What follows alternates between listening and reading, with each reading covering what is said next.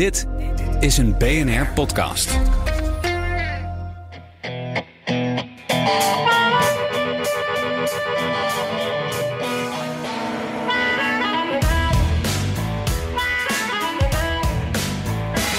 De spanning loopt op. We tellen af tot verkiezingsdag. Het leek een uitstekende week te worden voor Kamala Harris. De Trump-campagne blunderde met een foute grap over Puerto Rico. En zelf had ze een grote toespraak voor het Witte Huis op een symbolische plek. Ze gaf daar een krachtige waarschuwing voor een tweede termijn Trump. America, this is not a candidate for president who is thinking about how to make your life better. This is someone who is unstable, obsessed with revenge consumed with grievance, and out for unchecked power.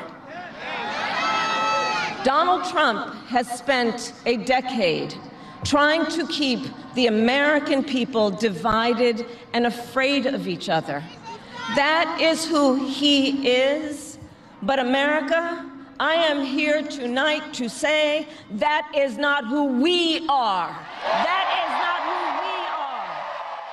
Een mooie avond voor Harris, maar toen was daar Biden. En die wilde nog wat zeggen over Trump en Puerto Rico. In my home state of Delaware, they're good, decent, honorable people.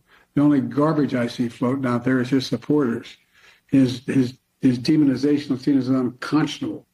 And it's un-American. Noemt Joe Biden hier nou alle Trump-supporters garbage?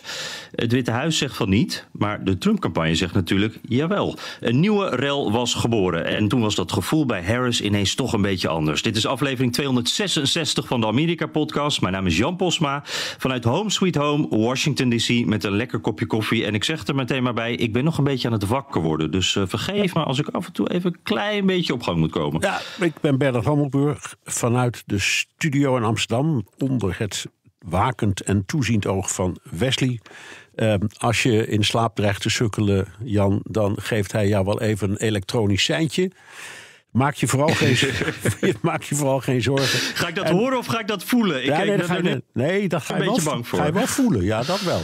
um, Oké. Hey, en uh, uh, ja, nou, dit is dan even weer voorlopig de laatste voor mij vanuit Amsterdam. Want uh, ja. ja, maandag zitten ze. Je stopt dit weekend op het vliegtuig, hè? Ja, en dan gaan we maandag de volgende podcast samen opnemen in New York.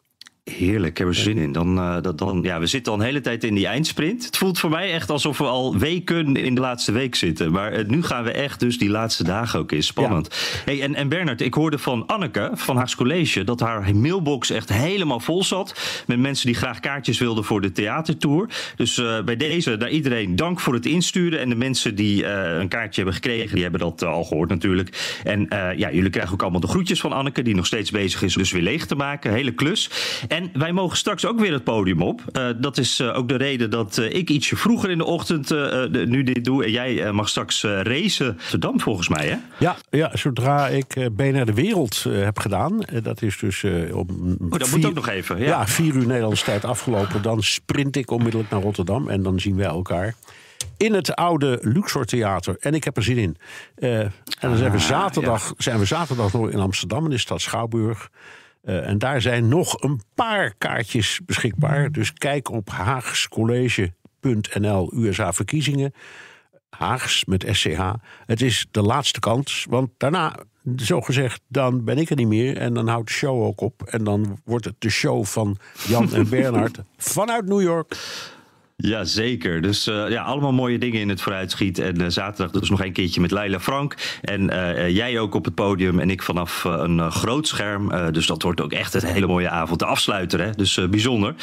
Ja. Um, ja, en dan moeten we maar eens even naar uh, het nieuws van de dag, het nieuws van de week. En ik denk dat we toch maar even moeten beginnen. Ik zat heel lang te twijfelen, Bernard. Uh, want ik dacht eerst steeds van, nou, we moeten even met die, die, die toespraak van Harris beginnen. Dat was haar grote slotmoment, waarin ze haar slotboodschap ging geven. Maar ja, toen kwam die uitspraak van Biden. Ik begin toch maar even daarmee. Um, voor wie het niet helemaal gevolgd heeft, uh, Joe Biden die reageerde dus op die foute grappen die gemaakt werden bij Trumps grote rally in New York zondag. Uh, daar zei toen een uh, comedian, er drijft een grote hoop afval in de oceaan. Jullie kennen het misschien wel, het heet Puerto Rico. Nou, dit was een van de meerdere racistische grappen die daar gemaakt werden, ook door die man. maar dit was echt een blunder, want Puerto Ricanen en ook breder Latino's waren echt boos hierover. en ja, de Trump-campagne was eigenlijk een paar dagen in de verdediging. En dat, dat zie je niet uh, vaak. Dat ze, dat ze ook een beetje toegeven eigenlijk van wacht even, hier zat iets niet goed. Uh, en toen kwam dus Joe Biden. En die zei dus, voor wie het niet helemaal kon horen net... The only garbage I see floating out there is his supporters. En volgens het Witte Huis was dat supporters, zat daar een apostrof S. Dus uh, het afval van zijn supporter. En daarmee bedoelde hij dan die comedian. Um, maar uh, moet ook eerlijk zeggen, dat is niet het eerste waar ik aan dacht. En dat is zeker niet wat de Trump-campagne zegt. Die zeggen allemaal, ja, hij heeft het hier over alle Trump-supporters. Hij noemt nu Trump-supporters, eigenlijk half Amerika noemt hij garbage. Ja, ik, ik, waar moeten we beginnen, Bernard? Een ongelofelijke blunder van Biden, toch? Het, het, is een soort. Ik, ja, ik, ik reageerde echt ook zeer geschrokken. Dat, we hebben het er ook over gehad. Ik denk, Jan, dat we hier eh, de, de zo vaak verwachte oktober-surprise zien. Ik moest onmiddellijk denken aan wat er is gebeurd met Hillary Clinton in haar laatste dagen van de campagne tegen Trump. Toen, uh, toen hmm. de, de, de um, directeur van de FBI, Foley, um, in die hele kwestie van de e-mails plotseling zei. Ja, ik heb er nog eens naar gekeken en volgens mij is er toch iets niet in de haak. Dat was vlak voor de verkiezingen. En daarna, mhm. daarna kwam hij met een verklaring... nou, ik heb nog eens gekeken, er is eigenlijk niets aan de hand. Maar toen was het, toen was het leed al geleden. En ja, dat, dat heeft haar een nekslag gegeven. Het ging al slecht met haar.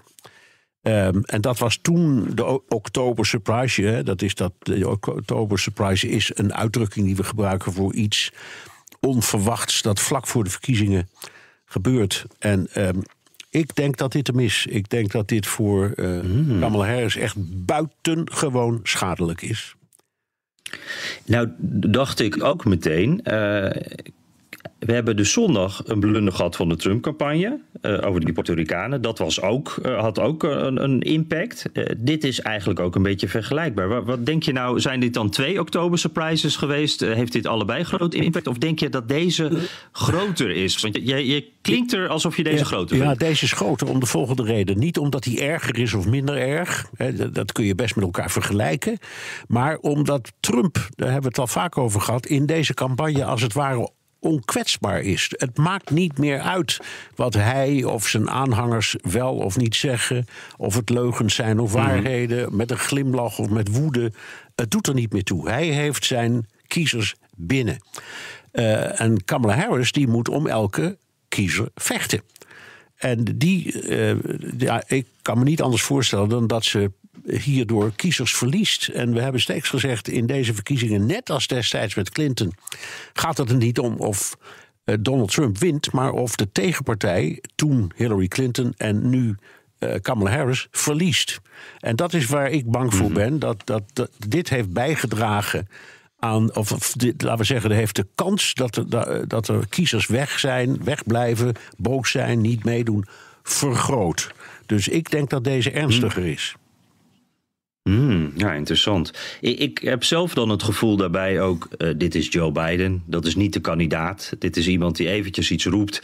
En uh, ja, als Harris het nou zelf had gezegd, dat, dat vind ik zelf nog wel een verschil maken. Maar tegelijkertijd, uh, dit is wel de president die het zegt. en wat hij nou ook precies gezegd heeft, dat maakt eigenlijk niet meer uit. Hè? Want ze, hebben een, hij heeft nog een verklaring eruit gestuurd van, hé, hey, ik bedoelde het niet zo. het Witte Huis heeft het transcript naar buiten gebracht, waar, waar je dus die apostrof S ziet, waardoor de betekenis zou veranderen. Maar dat maakt eigenlijk ook niet uit. Want uh, uiteindelijk hoe de uh, Trump-campagne hiermee aan de haal gaat.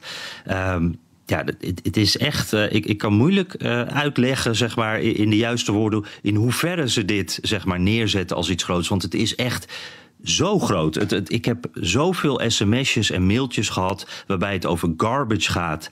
Uh, Trumps toespraken die begaan over garbage nu. Um, en uh, gisteren was hij bij een. Uh, uh, nou, stond hij op het vliegveld ergens en toen kwam er een vrachtwagen aanrijden, een vuilniswagen. Een witte vuilniswagen met heel grote Trump-logo op de zijkant. Trump die trok zo'n fluorescerend hesje aan, ging in die, in die vrachtwagen zitten en liet zich een paar rondjes rondrijden. Deed toen een interview, of een persconferentie eigenlijk, vanuit die vuilniswagen. waarin hij nog een keer vertelde: van ja, die Biden die noemt jullie allemaal trash. Voor mij zijn jullie niet trash, jullie zijn de mensen die dit land hebben opgebouwd. Uh, en nou, die beelden die gingen natuurlijk ook overal rond. En dan zijn er ook heel wat democraten die zeggen... oh, daar gaat hij weer. Die man die rijdt een paar rondjes op een vliegveld. Het regent, het is een beetje sneu. Kijk eens hoe moeilijk hij die vrachtwagen inkomt. Uh, dit is een soort metafoor voor die campagne. Uh, een lege vrachtwagen. En iemand zei, een democraat dus... het vuilnis zit nu voorin. vond ik grappig gevonden. Maar het is overal dit beeld. En ineens hebben we het niet meer over die Harris speech. Gaat het echt hierover? Het is echt super dominant. En Trump heeft ook weer de regie terug, hè? Ja, helemaal. En ik, daar zijn de Republikeinen überhaupt beter in dan de Democraten. Hè? Dat hebben we al een paar keer eerder vastgesteld. Ze hebben in hun campagneteam echt briljante mensen die dit soort dingen onmiddellijk bedenken en dan doen. Um, nou ja, we hebben het ook al gehad. Uh, over een vergelijking destijds met Clinton, die, die het over een basket of deplorables. Dat waren dan de, de kiezers van, uh, van Trump. En ja, dit doet daaraan denken. En ja, je kunt zeggen, dit, dit, was ze niet zelf, dit was de president. En, die en haar campagneteam doet er alles aan om te zeggen... ja, ze heeft echt hier niks mee te maken. Uh, dit heeft niks te maken met haar, nog met de campagne. Het is niet wat ze zelf denkt of vindt. Het is echt onzin. Um, dit is een, uh, een, een, ja, een wat ongelukkig gekozen formulering van Biden. Maar ja, ik, ik denk dat ze nu gewoon een, zo'n enorme slag achterloopt. Dat het, eh, ja, is levensgevaarlijk voor Mm, ja, want ze, ze, nam ook afstand eh, van beiden. Hè? Ze, heeft echt uh, letterlijk gezegd: van dit is niet wat ik denk. Uh, het werd hier zelfs een Sister Solja-moment genoemd. Dat, dat, dat, was Clinton, hè, die op een bepaald moment afstand nam van een, een wat radicale rapper, volgens mij, wat ik me herinner. En, en nou, daarmee eigenlijk ook, ook zieltjes weer won. Nou, nu neemt Harris uh, ja, ik denk wel voor het eerst zo duidelijk ook in iets afstand van beiden. Maar ja, ik heb het gevoel dat helpt ook niet echt meer. Nee, ik denk het ook Wat niet. denk jij? We zullen zien, Jan. Ik denk ook van niet. Maar goed, de verkiezingen zijn al op dinsdag. Uh, dus we, we komen er snel genoeg achter, denk ik. Uh, of en hoe groot de invloed hiervan was. En, Mag ik hier nog één dingetje over zeggen, ja, trouwens, Bernard? Want ja. uh, ik, ik denk dat dit iets is wat de luisteraar namelijk ook denkt. Uh, ik zag gisteren een um, fragmentje voorbij komen op uh, Comedy Central, de, de, Daily Show. Die hadden dat heel goed gedaan. Die hadden allemaal fragmenten achter elkaar gezet waarin, waarin Trump Amerika a pile of trash, a trash can, alles met, met, met, trash eigenlijk noemde. en die zeiden toen, ja, Trump die kan dit gewoon zeggen over Amerika. Als hij Amerika een trash can noemt, dan gaat dat ook over zijn eigen supporters. Dan gaat het over het hele land. Uh, maar ja, je moet blijkbaar republikein zijn om dat te mogen zeggen. Want als je dat als democraat zegt, dan word je erop afgerekend. En dat is eigenlijk wat jij in het begin ook zei. Hè? Alles, Trump die kan de gekste dingen zeggen. Die ja. kan uh, supporters van Harris ook uh, radicale communisten noemen. Het maakt allemaal niet uit. En uh, Harris, of ja, niet eens Harris, maar Biden zegt zoiets. En dat is dan ineens een ding. Het is ook wel een rare wereld. Het is een rare wereld, maar goed. Zij um, is de underdog. En dus kwetsbaar. En um, Trump heeft, zoals dat heet, de upper hand. Dus ja, het is niet anders. hey Jan, zullen we even, even praten? Want dat was, jij zei je twijfelde waar je nou mee zou beginnen. Eigenlijk misschien met die toespraak van Harris. Um, en dat is een ja, begrijpelijk dilemma. Jij was erbij. Hoe was die? Ja, ik, ik vond het wel uh, bijzonder. Uh, ten eerste, laat ik gewoon met het begin beginnen. Er waren zoveel mensen. En uh, we hebben niet zo vaak uh, politieke rallies in Washington. Um, de, de, laatste die ik me kan herinneren was op 6 januari, toen er ook wat bestormd werd. en nu was dat dus op dezelfde plek. Dus dat gaf een, een gek gevoel, vond ik. Ik vond het wel raar. Het, had een hele andere sfeer. Het was ook s'avonds in plaats van s ochtends. Het, broeide natuurlijk helemaal niet zoals dat toen wel broeide. Uh, maar het gaf mij wel een gek gevoel om daar weer op letterlijk diezelfde plek te staan en weer naar een politicus te luisteren. Ik vond dat wel raar, maar ik merkte de mensen om me heen hadden daar echt helemaal geen problemen mee. Die vonden het gewoon een fantastische plek. En ja, dat is het ook. Je hebt achter je Washington Monument. Dat wordt s'nachts verlicht natuurlijk. Voor je zie je het Witte Huis. En daarvoor spreekt dan Kamala Harris. En mensen waren echt uitzinnig. Ik, ik heb mensen gesproken die, die echt zomaar vier, vijf uur in de rij hebben gestaan. En, en die rijen ook echt wel veel grote politieke rallies gezien. Ook lang in de rij gestaan om binnen te komen op dat soort plekken. Maar dit sloeg wel echt alles. Um, er stond echt een rij van, ja, voor wie het wat zegt, van Constitution Avenue helemaal tot aan eigenlijk Pennsylvania Avenue, waar het Witte Huis uh, is. En, die jij, dan weer terug. Moest, moest, jij in de rij of kon en je met je, en dan weer terug? Maar, ja, moest jij in de rij of kon je met je perspas uh, daar langs? Nee, het, het, was weer. Ik moest ook in de rij, inderdaad. En ik hoorde ook verschillende uh, collega's. Ja, ook, ook van de, de, NOS, de Belgische collega's. die, die kwamen ook niet binnen. Ja, het, is, het wordt steeds moeilijker bij de campagnes om binnen te komen. En, en dit was ook weer een momentje. ik had wel eerder in de rij kunnen staan. Dan, dan had het misschien wel wat ja, geschild ook. Maar ja, dat, dat lukte niet. Dus ik stond daar in die rij. En. Um, ik was bijna bij de eerste kronkel en dat had me al, uh, nou, ik denk wel anderhalf uur gekost. En ik wist al hoe ver ik nog moest, dus ik had een audioboek opstaan en dat ben ik gaan luisteren. Ondertussen een beetje aan het kijken wat er allemaal voorbij kwam. Dat was wel heel uh, grappig. Mensen waren verkleed, omdat het ook Halloween is natuurlijk. Veel eh, bordjes die voorbij kwamen met teksten, Trump-poppen, dat soort dingen. Dus echt wel heel vrolijk. Maar tegelijkertijd was er ook wel echt een serieusheid die, die je daar merkte. En ook wel een beetje zenuwen uh, richting dinsdag. Je, merkte dat echt wel. Dat mensen zijn er niet gerust op, die democraten. Ze, en, en, dit was een soort moment van ontlading ook even. En, en eventjes een beetje ja, hoop tanken. Uh, ja, een beetje het gevoel van we zijn onder, onder elkaar. Ja, ja, en, en, en inhoudelijk. Want ik heb ook gekeken. Het was weliswaar heel laat, maar ik ben toch maar blijven hangen. Maar wat, was, wat vond jij nou de belangrijkste punten um, inhoudelijk? Nou ja, ik was van tevoren, dacht ik, uh, oh, dit wordt natuurlijk alleen maar anti-Trump. En, en we hebben het er afgelopen weken wel een paar keer over gehad dat dat, ja, of, of dat nou slim is in, in de uh, campagne. Ik had het gevoel dat het moment dat ze het echt over haar eigen plannen had, dat dat het moment was dat haar campagne ook echt opkleurde. Uh, nou, het, door deze plek dacht ik van dit wordt ook alleen maar Trump. Maar dat viel heel erg mee. Trump was natuurlijk wel een terugkerend thema. Vooral in het begin, toen ging het over 6 januari. Ja, dat moet ook wel. Als je die plek natuurlijk kiest, dat doe je niet voor niets. maar daarna gebruikte ze Trump vooral om haar eigen plannen, om daar een contrast aan te geven. Um, en ik, ik vond heel duidelijk, ze wilde die zwevende kiezer in die swing states aanspreken. Dus dat van alles zat er een beetje in.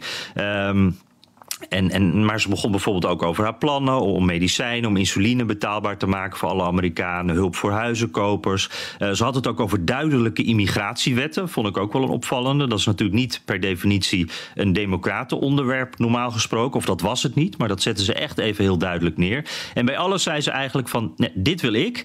En kijk eens wat Trump doet. En uh, ze voegde daar ook toe: als ik in het Oval Office kom, ik heb een to-do-lijst. Hij komt met een lijst vijanden. Ja, ja, ja dat, vond ik, nou, dat vond ik eerlijk gezegd de mooiste uitspraak in de hele toespraak. Ik vond het zo slim gevonden. Ja, die, die was uh, slim, ja, hè? Ja, ja, In het Engels klinkt hij nog beter. Dus die was echt goed, ja.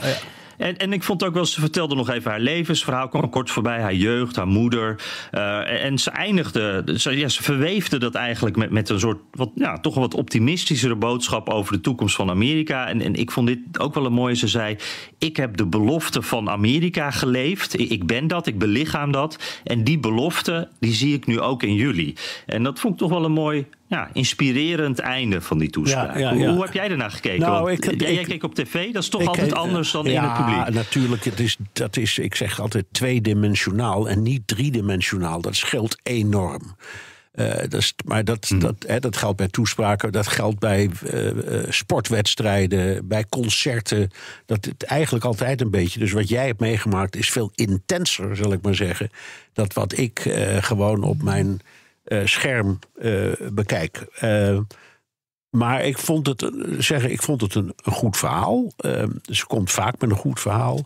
Het was weer niet erg specifiek. en ik, ik blijf denken heel veel van, ook van haar aanhang zal zeggen... je bent een aardig mens en we, we geloven dat je het beste met ons voor hebt. Maar hoe wou je het eigenlijk allemaal flikken?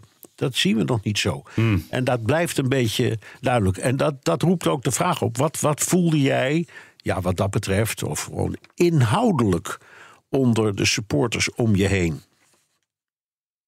Nou, ik, ik, merk daar een gevoel dat eigenlijk lijkt op dat van vier jaar geleden. Dit, dit zijn dus eh, voornamelijk best fanatieke democraten al. Hè. Je moet je voorstellen, dit, dit waren uh, mensen uit Washington zelf, dus dat zijn veel ambtenaren.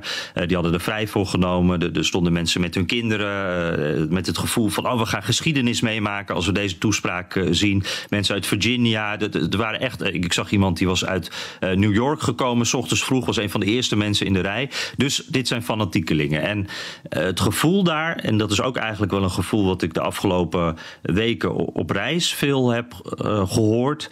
Mensen vinden echt die issues wel belangrijk. Uh, hè, als het over de economie gaat, de, al die onderwerpen, alles vinden ze belangrijk. Maar um, onder die democraten is Trump gewoon nog steeds een heel belangrijk onderwerp. En op dat punt is er eigenlijk, zou ik willen zeggen, in de afgelopen vier of acht jaar niet zo heel veel veranderd.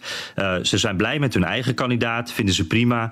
Maar ja, ze zijn vooral ook bang voor Donald Trump en wat die gaat doen. Eh, dat, dat is echt een grote, ja, grote angst. Echt. Ze, ze kunnen het zich gewoon niet voorstellen dat dat nog een keer gaat gebeuren. Willen zich dat ook niet voorstellen. En daarmee valt dan die noodzaak voor hele specifieke plannen valt ook een klein beetje weg, denk ik. Uh, en ik denk ook wel bij zo'n speech, dan komen mensen ook vooral voor inspiratie, gerustgesteld worden, onder, onder elkaar zijn. Uh, dus nou, je zou misschien kunnen zeggen dat ze eigenlijk best wel specifiek was voor zo'n soort toespraak. Ja. Weet je toch, als je zoveel wil vertellen, ja. uh, nou, dan, dan, zat best wel wat in. Ik, ja. ik, hoor bij Trump wel eens wat minder, want die zegt gewoon immigratie, ik ga het oplossen en dan houdt het op. Dus ja, ze ging wel wat verder dan dat. Ja. Ja, en um, voelde je ook, waren er, um, weet ik veel, was iedereen gelukkig met haar? Was er kritiek? Voelde je um, de eenheid? Of was er toch, waren er toch tegenstellingen? Of het was zo'n grote groep en je, ja. stond, je stond er tussenin. Dus wat, wat heb, je, heb je op dat, uh, dat punt, zou ik maar zeggen, iets waargenomen of gevoeld? Nou, dat, dat vond ik nog wel interessant. Want dit is eigenlijk ook een combinatie van wat ik daar zag en wat ik later terugzag op uh, televisie. En, en weet, jij hebt het waarschijnlijk ook wel gehoord. Aan het begin van haar toespraak hoorde je de hele tijd de sirene er doorheen. Ja. Uh, echt heel irritant, best wel luid. Hè? En, en ik kreeg ook toen ik het terugkeek een beetje het gevoel dat zij daar wat door was afgeleid. Um, toen ik in het publiek zat, hoorde ik die sirene maar heel weinig. Maar ik hoorde wel allemaal uh, demonstranten en ik zag Palestijnse vlaggen. En dan moet je je voorstellen, net buiten het terrein, daar was een soort demonstratie stukje. En, en daar waren dus pro-Palestijnse demonstranten. En die maakten eigenlijk bijna de hele toespraak maakte die geluid. Uh, die sirene was dus echt heel duidelijk uh, te horen. Uh, dat was heel duidelijk. Die liepen ook tijdens de toespraak door het publiek. Dan kwam er een Palestijnse vlag die omhoog werd gehouden. Die kwam voorbij. nou ja, de, de, bekende bordjes van, van Harris, genocide, dat soort dingen. Um, daar, die werden genegeerd. Dat, dat, ja, daar had eigenlijk niemand zin in. ze waren daar voor Harris en, en niemand wilde zich laten provoceren. Tenminste, in mijn omgeving zag ik daar geen reactie op. Maar het viel me ook op, want ik liep daar vandaag nog even langs. Of uh, gisteren moet ik zeggen, liep ik daar nog eventjes langs. En toen zag ik ook echt veel posters hangen met, met zeer pro-Palestijnse boodschappen. Uh, Intifada uh, stond er op sommige posters ook. Dus echt wel behoorlijk heftig. Um, dus dat is wel nou ja, een, een, dissonant, denk ik, in die avond voor Harris. Ook omdat ik echt het gevoel had dat ze aan het begin van die avond daar echt wel last van had. Dat, dat, dat ze een beetje uit haar. Ze was een beetje gehaast, voor ja, niet? Ik, ja, dat begrijp ik. Ik heb, ik heb dat niet zo meegekregen. Want ja, bij mij ging eigenlijk het signaal pas aan op het moment dat die toespraak begon. En daarvoor keek ik naar de bekende commentatoren die, uh, die gaan voorspellen wat ze zegt, of wat ze niet zegt, of hoe ze het moet aanpakken. Enfin, op alle drie de kabelnetwerken. Maar uh, ik heb op Fox naar deze toespraak gekeken. En al dat, dat verhaal daar, wat daarvoor zat, dat heb ik niet meegekregen.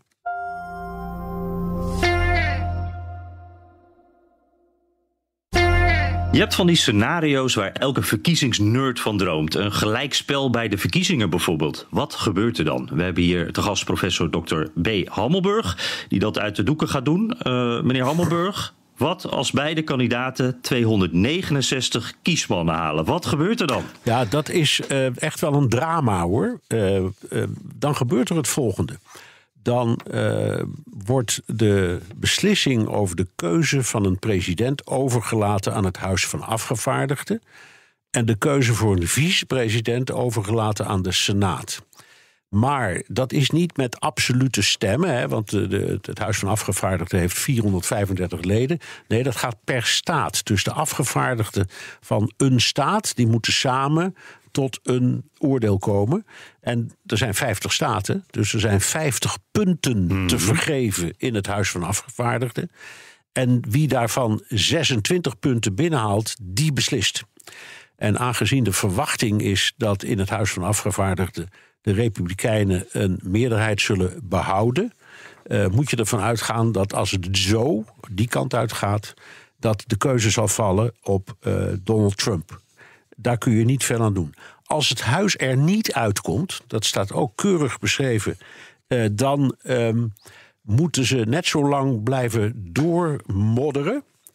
Uh, totdat ze wel met een beslissing komen. Dus uh, dat hebben we ook meegemaakt bij de stemming over een nieuwe voorzitter van het huis. Dat herinner je je ongetwijfeld. Ja, een, eindeloze stemmingen. Eindeloze aantal stemmingen. Nou, dat kan hier ook gebeuren. Dat ze er niet uitkomen, dat het blijft staken. Um, en dan uh, is het reglement dat vanaf 20 januari 12 uur... dat is het moment waarop de nieuwe president wordt geïnaugureerd... Um, het, het gezag uh, uh, wordt uitgeoefend door de vicepresident. En dan komen we aan de keuze van de vicepresident. Want ja, daar heb je weer hetzelfde. In de Senaat, waar 100 leden zitten, is het gewoon ieder voor zich. Dus de, de, de, de kandidaat die daar van de helft, dus 51 um, stemmen haalt, die wordt de vicepresident. En dat is heel spannend, want uh, op dit moment, nou ik weet ook, denk dat het er in die senaatsrace niet zo geweldig uitziet voor de Democraten. Maar nu hebben ze nee, nog steeds nee. een hele kleine meerderheid. En als dat opnieuw gebeurt, ja, dan zou je dus de, de kollige situatie kunnen krijgen, Jan, dat de president Donald Trump heet. En um, dat meneer Walsh de vicepresident wordt. Ja, ja, ja, het, zou, ja. Het, het, zou kunnen. Dus het is, het is een bizarre situatie. Um, ik, ik heb me rot gezocht naar presidenten. Ik heb ze niet gevonden. Dus volgens mij is het nog nooit gebeurd. Maar het is heel nauwkeurig beschreven. En uh, dus de, de grondwet voorziet hierin.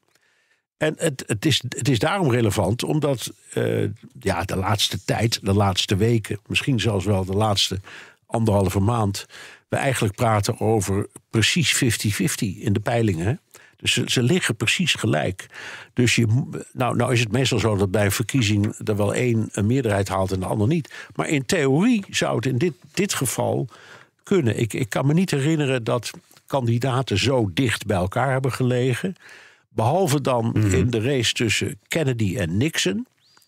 Uh, die lagen echt uh, krek gelijk. Um, maar die heeft uiteindelijk John Kennedy gewonnen. Maar in totaal in het hele land met een meerderheid van 180.000 stemmen. Dus net op het nippertje. Uh, maar toen dreigt ja. het even en het dreigt nu ook. Dus wie weet, nou ja, als dat gebeurt, dan krijgen we het uh, op, opnieuw heel druk. En dan komen er heel veel afleveringen van de Amerika-podcast bij, vrees ik. Oh man. Ja, ja nee, dat, dan wordt het, want dat wordt chaos natuurlijk. Want dat wordt weer een hele andere manier waarop elke stem telt. Weer een hele andere procedure waar eigenlijk alles, alles belangrijk gaat worden. Hoeveel uh, advocaten daar niet aan te pas gaan komen. Dat ja. wordt ongelooflijk. En dit is wel uh, ook een weeffout, denk ik dan, van de, de, de Founding Fathers ja, uiteindelijk. Ja, Toch maar dat hebben ze ook. Dat klopt, dat hebben ze ook herkend erkend. Uh, er is de, hoe heet het ook weer? De Federalist Papers van, van Hamilton. Mhm. Mm -hmm. uh, daar, staat ja. daar, daar, daar wordt ook, die, die rapt daar ook van. Van ja, dit is een soort weeffout. Maar ja, dat. dat... zeg je nou, die rap daarvan? dat ja. is Hamilton, dat is de man van, van de grote uh, Broadway musical, toch? Daar wordt ja, veel in ja, gerept. Ja, dus uh, mooi, mooi. Ja, ja, ja. Maar die, maar die, ja, toen de Federalist Papers, die hebben niet zo heel lang bestaan. Maar dat was een soort van, ja. Uh, filosofisch uh, overpeinzingsmedium. Uh, en daarin, nou ja, daar, daar, werd dus ook gesproken over de, de feilbaarheid van het systeem. En dat je het niet zo kunt bedenken dat het perfect is. Wat wij als Europeanen, en zeker als Nederlanders, dan als antwoord zouden hebben, is: jongens, stap toch af van dat gekke systeem van kiesmannen. He, doe het gewoon, maak rechtstreeks verkiezingen. Dan kunnen dit soort problemen zich niet meer voordoen. Want dan is het heel simpel. Dan, heb je, uh, dan is de helft plus één van alle stemmen genoeg om het presidentschap te winnen. Maar goed, dat willen ze niet. Ze zeggen elke keer: we willen daar best af, maar dat doen ze dan niet. Dus, en elk land heeft uh, het recht op zijn eigen wonderlijkheden. Ik, ik, ik zeg wel eens als mensen hier in Nederland roepen: wat een raar systeem. Dan zeg ik altijd: oh ja, leg jij maar eens aan een Amerikaan uit hoe wij onze Eerste Kamer kiezen. Hmm. Over ja. ingewikkeld Ja. en, en, en weinig transparant gesproken. En zo heeft elk land ja, wat zeggen ze? De Britten zeggen: everybody has his funny little ways. En dat geldt hier echt. Ja, ja. Ja, precies. Nou, wel waanzinnig. Het, Ja. Dit zijn van die eh, dingetjes, eh, net als een, een brokered convention, hebben we het dan ook vaker over. Hè, van, nou, wat als dat zou gebeuren? Dit is ook zoiets. Ja. Elke keer is er, nou, wat als dit zou gebeuren? Het zou kunnen gebeuren, maar nou, de kans Nee, dat klopt. is klein. Dat maar klopt. het En- kan. Maar dit is, kijk, zo'n brokered convention, dat, dat, dat, is van een partij. En het begrip partij bestaat constitutioneel niet. Dus in, we zeggen wat, wat, wat eh, grondwet betreft, is daar geen probleem. Dat is meer ruzie in een club van welke kandidaat wijzen we aan. Maar dit gaat over landelijke verkiezingen. En daar, dat gaat helemaal niet over partijen, maar gewoon wie krijgt de meeste kiesmannen in een strijd tussen twee mensen. Eh, en en, en de, de, de partijbinding is constitutioneel compleet niet van belang. Dus dat, dat is het verschil Ja. daarmee. Hé hey Jan, Mag, nog, mag ik nog, nog één dingetje Ja. hierover eh, mag ik één dingetje zeggen? Want ik vo- vond eh, wat jij over die kiesmannen zegt. Ik, ik moet er eens aan denken. Ik sprak eh eergisteren ook iemand die, eh, die, die was een paar keer verhuisd. En, en die was hier, die had daar een mooi, een beetje gefrustreerd verhaal bij. Die zei van: ik, ik begon ooit, ik woonde in North Carolina. Toen was mijn, in die tijd was mijn stem daar niet zoveel waard. Want dat was een zeer republikeinse staat toen. Nou, inmiddels is dat de staat waarop gevochten wordt. Als ik daar nu zou wonen, zou mijn stem echt wat waard zijn. Maar ik ben eh, daarna verhuisd naar Virginia, eh, waar op dat moment mijn stem eigenlijk ook niet zoveel waard was. En nu woon ik in Washington DC, waar mijn stem eigenlijk voor de presidentsverkiezingen niks waard is. Het, het, het, eh, dus hij zei van mijn stem is in de loop van mijn leven is dat steeds minder waard geworden. En als hij nou net aan de andere kant van de grens van een staat had gewoond, dan was het ineens weer meer waard geweest. En hij zei van het is idioot, ik baal ervan. Maar ja, dit is nou eenmaal ons systeem, we kunnen er niks aan doen. Ja, het, het is heel raar dat je stem dus, eh, als jij in eh, een swing state woont, veel meer waard is dan wanneer je in een eh, rode of een blauwe staat ja, woont. ja, ja. En dat is ook gevaarlijk, want da- dat kan de animo eh, kleiner maken om te gaan stemmen. En dat is bijvoorbeeld Ja. een van de gevaren die Kamala Harris bedreigt. Hè? Ehm, de, de redenering die ik eh, van ehm, eh, peilingen nou, begrijp is... er zijn twee factoren die voor haar een grote rol gaan spelen. Dat is het weer en de opkomst. Als het weer redelijk is of goed en de opkomst hoog, dan maakt ze een kans. Ehm, en als er één van de twee niet meewerkt, ja, dan ziet het er slecht voor eruit. Ja. hey Jan, Ja. even heel snel, heel snel. Ehm, ja, een van jouw absolute favorieten. Ehm, Steve Bannon is vrijgelaten. De- ja, de, Hmm. Ja. de- die, die heeft vier, vier maanden in de gevangenis gezeten... omdat hij niet wilde meewerken aan een eh, onderzoek van het congres. Eh, dat is, eh, zoals jij dat zo mooi in je boek noemt... een van de Trump-fluisteraars. Eh, heeft dit invloed op de campagnes? Nou, ik denk wel dat dit weer een eh, impuls geeft eh, voor, voor de radicalere kant van de Trump-campagne. Ik, ik vond het wel fascinerend om te zien. Deze man heeft dus inderdaad een tijd vastgezeten. Komt nu eh, een paar dagen voor de verkiezingen komt hij weer vrij. Zijn podcast is al die tijd gewoon doorgegaan, maar zonder hem. Dus nu zat hij gisteren voor het eerst weer bij die podcast. Dat, is een, ja, dat is een podcast waar echt veel mensen naar luisteren. Hij gaf een persconferentie waar meteen heel veel aandacht voor was. Hij zei van dit heeft me niet eh, Ik ben hier sterker van geworden. En hij gaf ook meteen een tip aan Donald Trump. Hij zei eh, als de uitslag nou lijkt op die van vier jaar geleden, je moet gewoon de, de overwinning uitroepen. Eh, niet over twijfelen, gewoon weer doen. Gewoon midden op de Eh, avond. Nou ja, we weten allemaal. Ja, precies. Als oké. we nog aan het stemmen tellen zijn. En ja, ja. Dus dat, dan weet je een beetje eh, het geluid wat daar vandaan komt. En, en, en ja, Bannon, ik zeg het nog maar even. Dat is echt een radicale man. Ik vind hem daardoor echt fascinerend ook. Hij is Ja. een beetje de huisideoloog geweest voor Trump. Heeft een beetje zijn gedachten gevormd, ook richting 2016.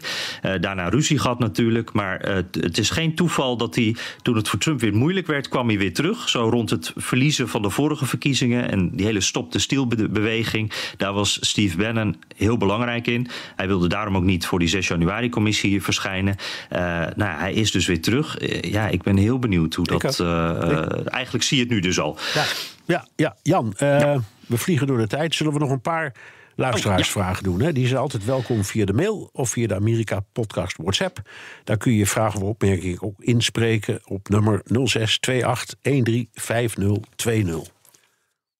Ja, mooi. En uh, oh ja, laat ik meteen ook even zeggen: dank allemaal voor alle berichtjes over de theatertour, over de podcast, over alle dingen die we doen. Uh, ik heb uh, niet tijd om alles wat via social media binnenkomt te beantwoorden. Dus, maar wel dank. Ik lees ze allemaal en ik probeer ze ook zoveel mogelijk te antwoorden. Maar Bernard en ik zijn allebei gewoon echt super druk deze periode. Dus, ja. maar via de mail weet, we lezen alles. Toch, Bernard? Ja, absoluut. We, we oh ja, alles, ja, ja, ja. ja.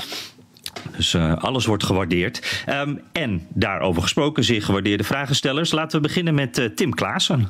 Hi Jan en Bernhard, Tim Klaassen hier in Nijmegen. Dank voor een heerlijke avond in uh, Nijmegen gisteravond. Op weg naar huis hadden we nog een vraag. We herinnerden ons nog verkiezingsdagen met een lage opkomst vanwege bizarre sneeuwstormen. Nu zal dat dit jaar met de klimaatcrisis niet het geval zijn, maar wat is de weersverwachting wel voor verkiezingsdag en wie heeft het meest profijt van een stralende herfstdag? Ja. Succes met jullie programma. Hey, ja, kijk. Goeie vraag en sluit aan bij wat we net bespraken. Ja, ja. Um, bij mij weten, ik kijk steeds in mijn app, jij waarschijnlijk ook, maar volgens mij is de weersverwachting goed op de verkiezingsdag. Dat we zeggen... De geen ik heb alleen naar Pennsylvania gekeken. Ja. En daar is het uh, prima weer 5% kans op regen. Ja, dus ik dacht, dus, nou, dus dat, dat is. Het is okay. droog en niet te koud. Dus een ideale dag ook om een tijdje in de rij te moeten staan. Je wordt niet erg koud en ook niet erg warm. Dus dat is goed. En dat is in het voordeel van Kamala Harris. Het weer is een van de twee factoren. Hè? Weer en opkomst. Hm. Nou, mooi. Goeie vraag, Tim. Uh, Guido Hulshoff dan. Ik heb even een vraag en wel over de Harris-campagne. Die concentreert zich in de afgelopen weken steeds meer op de persoon van Donald Trump. Enerzijds snap ik die strategie wel, maar wat ik mis nu en eigenlijk de hele campagne al, is waarom ze niet meer de successen van het Biden-presidentschap naar voren halen, zoals een aantal belangrijke wetten die hij heeft weten in te voeren. Denk bijvoorbeeld aan de Infrastructure and Jobs Act. Dat was toch tamelijk historisch en iets wat veel kiezers zou moeten aanspreken. Toch zie je van deze resultaten uh, in de hele campagne weinig terug. Wat ja. is jullie visie hierop? Ja, nou, ik spreek even voor hm. mezelf, Guido. Ik ben het roerend met je eens. Uh, ik vind dat ze veel te weinig hebben gehamerd op de successen. En die waren er inderdaad. Het Biden-presidentschap heeft heel veel successen geboekt. Op economisch gebied, op buitenlandse politiek. Uh, ook dingen die niet goed zijn gegaan. Dat is nu eenmaal zo. Er fouten gemaakt. Maar het is, denk ik, ik denk dat hij de geschiedenis ingaat als een behoorlijk goede president. En ik had, als ik die campagne had gevoerd, had ik daar ook zelf. Ik, ik denk dat ik het ook had gedaan. Van jongens, jullie, jullie sputteren allemaal. Maar zal ik eens even een lijstje geven van alle dingen die grandioos zijn verlopen in die periode? Dat doet ze eigenlijk nooit. Nee, ja, het is een interessante. Het, het, uh, uh, het is blijkbaar toch lastig uit te leggen wat ze nou bereikt hebben. Terwijl je zou, zou zeggen, hè, bijvoorbeeld. Uh, die insulineprijzen voor ouderen, die, die uh, op, op een maximum ja. zitten nu van, ik dacht 35 dollar of zo. Dat is best, dat is heel concreet. Je hoort het ook wel eens, maar toch is dat blijkbaar moeilijk als je dat tegenover bijvoorbeeld Donald Trump zegt, zet. Die gewoon het op hele eenvoudige dingen houdt. Ik bouw een muur, uh, ja. ik regel het gewoon met Oekraïne. En blijkbaar is het toch al te inhoudelijk. Dat, dat is het gevoel dat ik erbij heb. Uh, dat, dat het toch al te moeilijk is en dat je al te ver in detail gaat. Maar tegelijkertijd vind ik het ook bizar. Gisteren ook waren er weer goede economische cijfers. Uh, ik zag vanochtend de Wall Street Journal, behoorlijk rechtse krant. Uh, daarin stond een stuk, de, wie, ook president wordt, die erft een fantastische economie.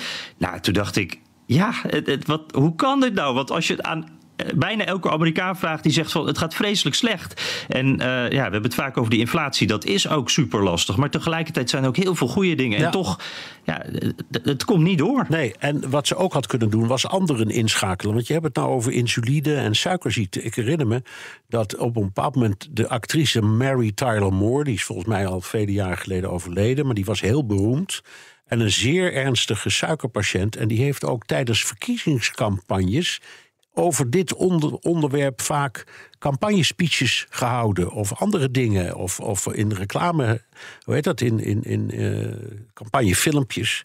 Hè, de, om, erop te, ja. om, erop te wijzen dat dit een groot probleem is. En dat het kan worden opgelost. Uh, dus uh, Harris had ook meer anderen te hulp kunnen roepen. Niet alleen celebrities die roepen dat ze fantastisch is. Maar ook mensen die verstand hebben. Bijvoorbeeld uit de medische hoek over de hele medicijnkwestie.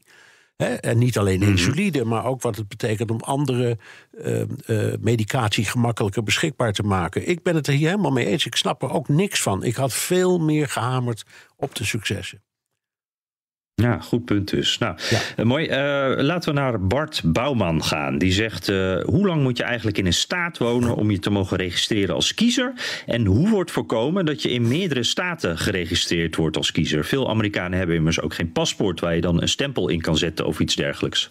Ja, blijft ingewikkeld hè, om dat uit te leggen. En het is ook heel moeilijk. Ja. Maar er zijn eigenlijk geen regels. Ehm, als je, uh, ik zal een voorbeeld geven. Toen ik mijn eerste keer een rijbewijs haalde, toen moest ik aantonen dat ik woon waar ik woon. En wat ze dan vragen is om een paar brieven, bijvoorbeeld de gasrekening of je, de rekening voor je krantenabonnement, ja. om die mee te nemen en de envelop te laten zien. En ze zeiden: Oké, okay, dit, ja. dit is duidelijk bewijs dat je daar woont. Nou, dat kan je na drie dagen doen, hè? Dus als je ergens ja. heen gaat en je, je, je, laat twee of drie of vier, je, je, neemt gewoon je post mee, dan ben je er al. Um, en, ja. en meestal heb je een adres in één staat. Er zijn ook mensen die adressen hebben in meerdere staten. Ja, dat is zo. Uh, maar je moet er dan toch één kiezen om uh, je stem uit te brengen. Ja, en ik moet eerlijk zeggen, daar weet ik het dan niet. Als je meerdere postadressen hebt, uh, dat, dat zal dus op een bepaalde manier gecontroleerd worden. Maar hoe, dat, dat weet ik ook niet. Nee, maar het is, het, het is een bizarre situatie, ja, hè? Het blijft bizar, ja.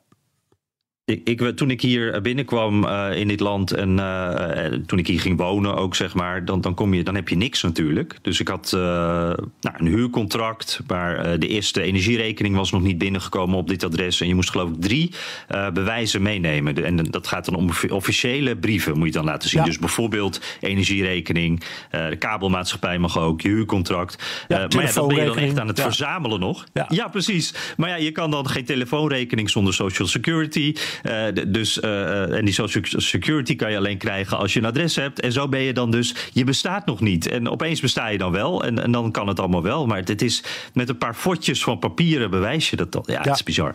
Ja. Hey, uh, even kijken hoor. En trouwens, Bernard, ik zeg eventjes heel eerlijk bij. Ik werd net geappt door Anneke van Haags College. En toen heb ik mijn klokje even weggeschoven. Dus jij moet maar goed in de gaten houden wanneer de tijd voorbij is. Het is heel simpel, Jan. We hebben nog een kleine vijf minuten. En dan moeten we wegwezen van Wesley. Ja. Oké, okay, prima. Nou, uh, la, laat de alarmklokken uh, gaan als het, als het zover is. Dan doen wij nog eventjes uh, de vraag van Bas. Die zegt van, de president van Amerika is de machtigste persoon van de wereld. Wordt altijd gezegd, maar is dit wel zo? De president is toch erg afhankelijk van het congres voor bijvoorbeeld het budget. Daarnaast kunnen staten zelfstandig beslissen over belangrijke zaken, zoals abortus. Ja, ja het antwoord is allebei ja. Um, ja, de staten hebben, kunnen heel veel uh, zeggen. En ja, de president is terecht in een democratie ondergeschikt aan het parlement. Dat heeft altijd het hoogste en het laatste woord. Maar volgens de Amerikaanse grondwet is, is uh, de president in zijn eentje de uitvoerende macht. Hè, dus ministers bestaan niet. Uh, dat die heten daarom ook secretaries. Um, die hebben geen eigen verantwoordelijkheid. Die hoeven ook geen verantwoording af te leggen aan het parlement. Um, en hij is ook op bevelhebber van de krijgsmacht. Dus in die zin hm. is hij wel degelijk de, de, de machtigste persoon in de wereld. Uh, maar dat geldt eigenlijk vooral in, ja, staatkundig in die uitvoerende macht. In zijn eentje. En uh, dus hij doet in zijn eentje wat bijvoorbeeld in Nederland het hele kabinet gezamenlijk doet. Dat allemaal de president. Dus hij heeft in, in die zin meer te zeggen, meer macht. Uh, ja, en die internationale rol, die is ook heel belangrijk. Ja.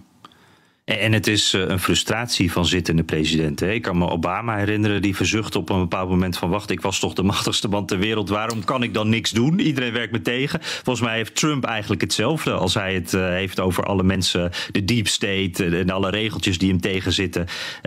Trump heeft dat op een hele veel sterkere en andere manier nog dan Obama eigenlijk. Maar die denk, een president is vaak wat gefrustreerd, want hij is de machtigste man ter wereld... en tegelijkertijd kan je soms helemaal niks. Nee. En dat is maar goed ook. Dat, uh, hmm. dat, vooral het parlement. Dat, ja, dat is het systeem. Ja, natuurlijk, ja. natuurlijk, zo hoort het. Ja. ja. Dan gaan we naar uh, Jaap Reyniersen.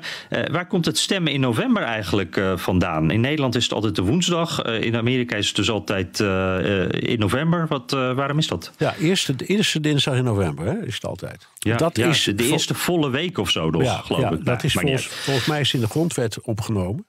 En het was eerst op een andere dag, of ben ik ben vergeten. Ik dacht eerst in maart. Dat weet ik niet meer helemaal zeker hoor. En op een bepaald moment is het verhuisd naar november. En waar, waarom het op de, de eerste uh, uh, dinsdag is, weet ik simpelweg niet. Uh, in Nederland is het op woensdag vanwege de scholen die op woensdagmiddag vrij zijn. Zodat mensen hm. De gelegenheid hebben om ja, met de kinderen achter op de fiets even langs het stemlokaal te gaan. Daar kwam het vandaan. De meeste landen stemmen op zondag. Maar ja, in een ehm, toch behoorlijk op het christendom gebaseerde samenleving, zoals bijvoorbeeld de Amerikaanse, maar ook wel de Nederlandse, is dat natuurlijk, sorry voor de uitdrukking, vloeken in de kerk. Dus dat kan niet. ja. ja. Ja, en ik begreep, het heeft ook met de, de, de, boeren te maken. Dat november is die periode van het jaar, dan, dan hebben mensen tijd. Dan, dan ben je niet aan het oogsten of aan het planten of wat dan ook. Is het weer ook redelijk? En, en wat jij zegt, heb ik ook begrepen dat uh, een zondag, uh, ja, dan is iedereen uh, zit in de kerk. Dat is geen reisdag. Vroeger duurde dat natuurlijk allemaal veel langer. Dus werd het uiteindelijk dan, zou maandag de reisdag kunnen zijn om te stemmen. En dinsdag is dan het moment waarop je die stem uit kan brengen. Dat, dat is wat ik altijd heb meegekregen. Dus, nou. en, en, dan was er ook nog één of november is er dan nog een of andere feestdag, dus dat kan ook niet. En dan kom je hierop uit. Ja, nou, uh, en uh, dat brengt ons eigenlijk naar waar we begonnen. Uh, de komende maandag zitten jij en ik samen in ja. voor het opnemen van de nieuwe podcast. En dan op dinsdag in het grote BNR-programma samen met Haags College. Ehm, de, de, dat wordt wat, Bernard. dat wordt dat wat. Wordt wat. Ja. Nou, Ga, ehm, eh, gaan we deze daarmee afronden? Dan gaan we uh, eerst het theater in en daarna ons eens even voorbereiden op die grote dag. Zo, terugluisteren kan via de BNR-site. Of je favoriete podcast-app. Heb je vragen, opmerkingen, kritiek of complimenten... dan kan dat ook met een tweet naar Jan USA... of BNR De Wereld, of heel ouderwets met een mailtje naar wereld.bnr.nl. En je kunt je vragen ook inspreken of intikken op de Amerika-podcast WhatsApp... 06 28 13 5020. Ja, en maandag zijn we er dan ook weer met een nieuwe aflevering van de Amerika-podcast vanuit New York, New York. Tot dan. Tot dan.